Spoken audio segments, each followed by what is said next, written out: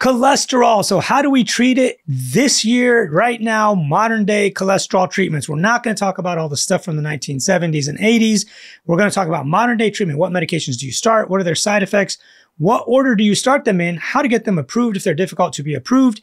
And then some of the side effects and what to do about them and how to change medications or what you can do next and how to get some of them prior authed prior authorization so that your patients can be on them and about how much every one of these medications lowers your cholesterol. So if you don't know me, I'm Dr. Alo. I'm a double board certified cardiologist. I've been teaching and treating cholesterol for a very, very long time. Some of you don't know, but cardiologists are generally the people on the front lines of cholesterol treatment. So Modern day cholesterol treatment usually starts out with statin medications. Now, if you're like, oh my God, you're going to put people on medication. No, go back and watch my videos on non pharmacological ways to treat cholesterol. I have a number of videos on that. There's one of them actually called 11 Ways to Lower Your Cholesterol Naturally. Start there. Let's say the patient did all 11, 12. There's actually like 12 of those different ways to lower cholesterol naturally. It's still not low enough and they still need their cholesterol lowered. Now we can get into the pharmacotherapeutics. And again, I'll reiterate the new targets to treat ever since 2018 guidelines have come out. All comers, it's 100. Your LDL cholesterol needs to be under 100. Number, the next number is 70. If somebody has a risk factor, they need to be under 70. If they've had a stent, heart attack, stroke, what have you, they've already had a cardiovascular event, they need to be under 55 if they continue to have cardiovascular events, they had another stroke, had more stents, etc., they need to be under 40. Now, the question becomes what lab work should I order? That's a really good place to start, actually. So, first and foremost, we need a fasting lipid panel. The fasting part is not as important, but mainly so we can get a fasting triglycerides. When triglycerides are above about 150, 200, the LDL calculations are still okay, um, but LDL is generally calculated. So in that case, we could use the non-HDL instead. The other thing, you need a fasting lipid panel. You need a apolipoprotein B, sometimes shortened to ApoB. ApoB is a particle count for particle uh, concentration of low density lipoproteins. I have a whole entire video on that, the difference between LDL cholesterol and lipo, apolipoB, apolipoprotein B. And then the last thing we need is something called a lipoprotein A. A lipoprotein A is a very atherogenic type of uh, lipoprotein. It's a special kind of LDL particle that is three to six times more atherogenic. These are like your patients who are 40, 50, even 30 years old who have new aortic stenosis and or new heart attacks and stents they don't have any of the usual traditional risk factors. You have to screen for lipoprotein A in these patients. So let's say you got all that. Now, I will say that lipoprotein A, there are no ways to really lower that right now. There are four medications in the work, which we're not going to get into in this lecture. So let's say they've tried every way to get their cholesterol down, but have not been able to. Your LDL cholesterol target is less than 100 for all comers. So what do you do? What is your first line of therapy? The first thing you should do is start a statin medications. Now, statins have been maligned. Literally everybody on social media thinks they're a statin expert. They go on Google and they type in, can I, what, what is the side effects of statins? Uh, you know, what are the dangers of statins? Look, everything has side effects. So does Tylenol. So does too much water too quickly. So does pretty much everything, right? But the question is, we'll get into side effects later. But the question is, what is the risk to reward benefit? And this should be a shared decision making between you and the patient. So, first, you want to start with statins. I generally don't start with the older statins. Those are like simvastatin, lovastatin, pravastatin. Those are the more natural statins. They're not synthetic or semi synthetic. They have a lot more side effects, especially simvastatin. A lot of you who are growing up today don't know this, but simvastatin used to come in an 80 milligram dose. The reason it does not anymore is it had way too many interactions, way too many myalgias, which are muscle aches and muscle soreness. So I usually start with Crestor. It is the most potent statin. Um, usually you could start with five milligrams if you just want like a 25 to 35% reduction. You can go all the way up to 40 if you need like a 55, maybe 65% reduction and all the doses in between you usually pick a dose and start there. Now, I usually combine it with Zetia. We'll get into Zetia later. Statins block something called HMG CoA reductase. It is a cholesterol synthesis uh, step. It blocks cholesterol synthesis in almost all of your cells. Um, cholesterol is made by every cell in your body, so you are not uh, you know, overly depleting it. You're not going to have a lack of testosterone. You're not going to have like hormone issues, brain issues, all that. The cholesterol in your brain is unaffected by circulating lipoproteins. So let's not mix those things up. Your brain makes its own cholesterol, it actually has a half life of five years. So a lot of the cholesterol in your brain today, depending on how old you are, may have been there since you were born. Now, all that aside, the the statins that I use would usually be Crestor first, then atorvastatin. Atorvastatin is the second most potent. Some people say it's in a tie with pitavastatin, but pitavastatin or Livalo, it is actually has my name in it, Live Allo. I don't recommend it though because it's not generic yet. It's still expensive and it's hard to get.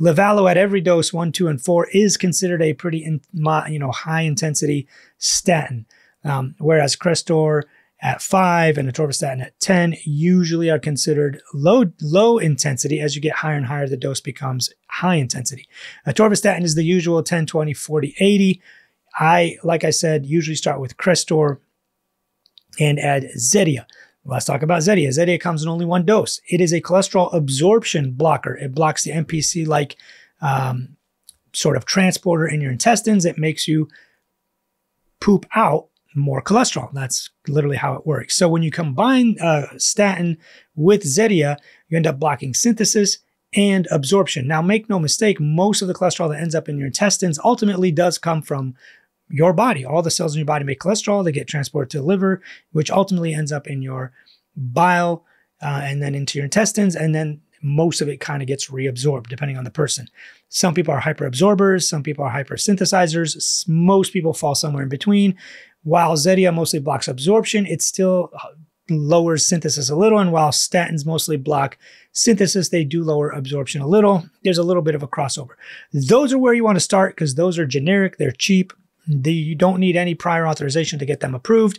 Literally every single patient in the world that needs lipid lowering should probably start it on a combination of both. Now, if you've got a healthy 20 year old with an LDL cholesterol of 110, 120, they've tried everything in the world to get their lipids down and just couldn't, that's a person that you could just put on Crestor 5 and call it a day. When they're in the 140s and 150s, though, on their LDL, we're only talking LDL here. There's no target to treat any other number. So you don't need to treat their total cholesterol. You don't need to talk about HDL or, you know, triglycerides is a different story, but generally there's no targets to treat triglycerides. But if they we're only talking LDL, if they're in the 140s and 150s, that's somebody you want to start on five, maybe 10 of Crestor and add Zetia 10.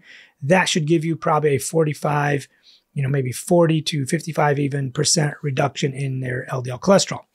That's how you want to do it. If you have people that you want to get down into the 40s and 50s because they've had multiple strokes and heart attacks, obviously please send them to a cardiologist. We know what to do. So that's where you start. You start with the statin medication plus Zetia. The next line, let's say you've had somebody with multiple stents, had a stroke, had more stents, open, open heart surgery a few years later. What do you do with that person? That person, you want to add a PCSK9 inhibitor. These are like Praluent, Repatha, and or Inclisiran. Inclisiran is a little harder to approve. There's not a lot of difference between Praluent and Repatha. Um, they're a twice a month injection, basically and you do it twice a month. It goes in and it recycles LDL receptors. LDL receptors are these things that sit in your bloodstream looking for LDL.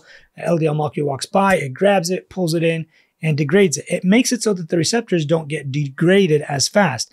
Most LDL, most of the time when it grabs an LDL particle and comes into your liver, the liver degrades both.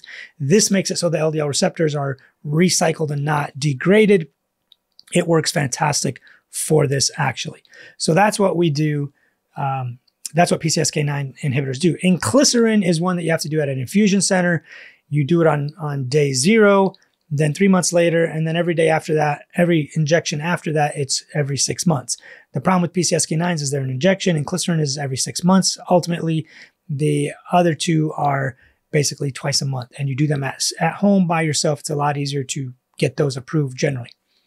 The next step in, in this scenario would be called, something called bempedoic acid. Bempedoic acid can be prescribed by itself, by itself as Nexletol, or with Zetia called Nexlizet. Bempedoic acid blocks cholesterol synthesis one step higher than statins, but it's very specific to the liver. Statin medications block cholesterol synthesis pretty much everywhere. Every cell in your body reduces cholesterol synthesis. When you put them on bempedoic acid, it only blocks it in the liver. So it's like very liver specific. So if some people are like, well, maybe I'm getting some brain fog, I don't know, etc., you could actually try this. Now it's very, very difficult to get approved, you know, more so than almost any other medication. Um, there have been outcome trials for all of these. None of these would have been approved. There's no outcome trials. There's out, tons of outcome trials for statins. We'll get into those in a little bit, um, but there's outcome trials for all of these things. But bempedoic acid blocks it only in the liver. So hence you don't get that much of a reduction. You're getting like a 15 to 25% reduction, especially when combined with Zetia. This can be used in people who are statin intolerant um, or as an add-on, if say, let's say they're on a statin and Zetia and PCSK9 and their numbers are not coming down, this is someone you'd add bempedoic acid to.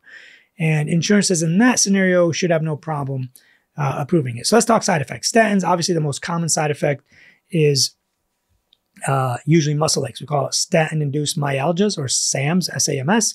This is quite common. The way we test to see if this is true is we stop the statin, tell them take two or three weeks off, see if the muscle aches go away. If they go away, restart the statin and see if they come back. A lot of patients will um, think they have muscle aches because they know that the medication is supposed to cause muscle aches. They call that the nocebo effect or the Drucebo effect. You know you're supposed to get muscle aches, so you think you're getting muscle aches. Um, that's the most common thing. Now, do statins cause dementia or prevent it or what have you? Large meta analyses have been done on veterans, 5 million people, 10 million people, what have you. I've talked about these on my blog. Go to dralo.net slash blog or click on my links below. The statins have been actually associated with a low risk of all forms of dementia, even mild cognitive decline. You have a 22% reduction in dementia, and a 32% reduction in Alzheimer's. So for whatever reason, they actually reduce dementia. Now, obviously, vascular dementia is plugged up arteries in your carotids going up and stroking you out in your brain, or in the mi- microvasculature in your brain, they call it microvascular angina or microvascular dementia, where the little tiny arteries in your brains get plugged up with cholesterol and give you little infarcts or little strokes, and that causes dementia-like symptoms because you're dizzy, that part of your brain doesn't work anymore, you get forgetfulness or motor movements, what have you, because you're actually stroking out little tiny arteries and parts of your brain. So that's that. The PCSK9 inhibitors, these are the injectables. The only real side effect is injection site irritation. You know, you grab your skin, whatever, you inject it, you know, in your belly usually. There's a little bit of irritation around where you injected, but that's pretty common. It's not common, but it's expected, I should say because you're injecting and poking something into your skin. So it's an expected um, reaction, um, which is not generally a problem. Um, the bempedoic acid, the only issue is it might raise your uric acid a little bit. So in some people, we check that. My guess is down the road, we probably won't be checking that a lot. Some people ask, do statin medications raise your blood sugar or your A1C? Huge studies have been done on this if you already have diabetes, you have the genetics for diabetes, and you are pre diabetic or you're already a diabetic, and you are put on a statin, you will have an A1C increase of about 0.1%. So, like if you were 5.6, now you're 5.7, and you are, quote, pre diabetic, you've been thrown into the pre diabetic range. That does not mean that you were never diabetic and you had no genes for it, and magically now we made you diabetic. Same thing if you're pre diabetic. Let's say your A1C is 6.4 and you got pushed over 0.1 into 6.5 now you are quote unquote diabetic and they might put you on medication. So we have found in very large meta-analyses and studies that about 7% of people in the study, which is about the percentage of people in the population that have diabetes anyways, about 7% of people in the studies are newly started on diabetes medications. These are the people that are, you know, weren't didn't know that they were diabetic, but now do know that they are diabetic and they are on medications for that. So that's about all we have on statin. Now, all of these trials have had tremendous outcomes data. Statin medications, for example, especially with the more potent newer statins, they all reduce cardiovascular event rates, which means heart attacks, strokes, peripheral artery disease, you know, microvascular, vascular dementia, those kind of things and they reduce cardiovascular event rates which are the actual strokes heart attacks or you know amputations etc they also reduce cardiovascular mortality as you would expect and they reduce all cause mortality um, as you would expect. Um, the pcsk9 inhibitors have also shown significant event rate reductions. We have not had these medications out long enough to have like long-term data on these. They've been around 11 and a half maybe 12 13 years now there is a there is a um, mortality, cardiovascular mortality benefit. At least, obviously, they reduce non-fatal MIs and fatal MIs. Bempedoic acid recently came out with the clear outcomes data. which have shown also reductions in cardiovascular event rates. Also, it's too new of a medication to have like mortality data yet. Maybe by the time you watch this, there will be. But that's kind of the summary of all the latest medications today. Now, when to use fenofibrates or um, Vascepa? Vasipa is EPA fish oil, EPA only fish oil. Fenofibrates would be used, and if you've max, it would be used in the case of somebody has elevated triglycerides, but you've maximized everything else. They're already on a statin, they're already on Zetia, they're already on whatever. Most people with high triglycerides, though, if, let's we're assuming these are people under 500, so 499 or lower. Most people with high triglycerides, usually their diabetes is just not well controlled.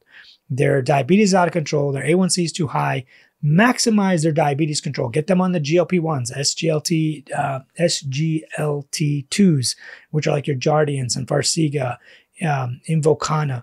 Get them on the Ozempics, the Mounjaros, the Trulicities, the Saxendas, uh, Byetta, Bydureon, you know, that whole class, Victoza, that whole class of medications. Get them on metformin. Intensify their diabetes treatment. Most of those patients, if you treat their diabetes better and get them under better control, you'll notice their triglycerides come way, way down. Sure, you can make them look prettier with fenofibrates and or Vascepa, but you're not going to have as much of an impact as if you control their diabetes.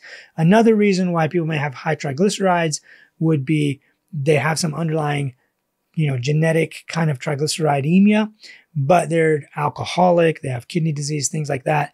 Alcoholism for sure does it. Kidney disease, not as much, but it can. But this is all people under 500. If you are in the thousands, you have something called hypertriglyceridemia, family genetic hypertriglyceridemia. Those people need to be pretty much treated the same exact way with the statins, with everything. Treat their diabetes, stop drinking, stop everything. And then you can add on the fenofibrates and the uh, Vascepa if they're still not down. A lot of times I get sent patients whose triglycerides are a little bit elevated and their cholesterol is still elevated and they're not and they're put on fenofibrate. Like, why are you on this fenofibrate? You still have you're on a baby dose of a statin, you're not even on Zetia, you're not maximized on anything. Your cholesterol, your blood, your um, diabetes is way out of control. But why are we adding fenofibrate? Like, get their diabetes under control, maximize their statin therapy, get that all under control first, and then you can add a fenofibrate later. And I can tell you maybe only 5% of patients will ever need a fenofibrate or uh, Vascepa EPA type fish oil. So please remember it in this order. You want to go statin, you want to go Zetia. They're cheap, generic, the most potent, the most historic. They've been around the most, have the most outcomes data. Then you want to go PCSK9 inhibitors. Then you want to go bempedoic acid.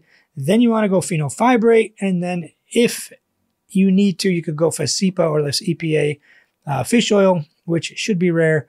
But if you're getting that deep into the algorithm, they should be seeing a cardiologist and or a lipidologist, not you if you're in just generally in primary care. So if you like this kind of stuff, follow me for more. I would love to have you as a follower. Leave some comments. I answer all my comments. Um, leave some comments, ask some questions. Go to my blog. My blog has tons and tons of research articles, stuff just like this. Um, but definitely share this with all of your friends. And I look to see you in the next episode.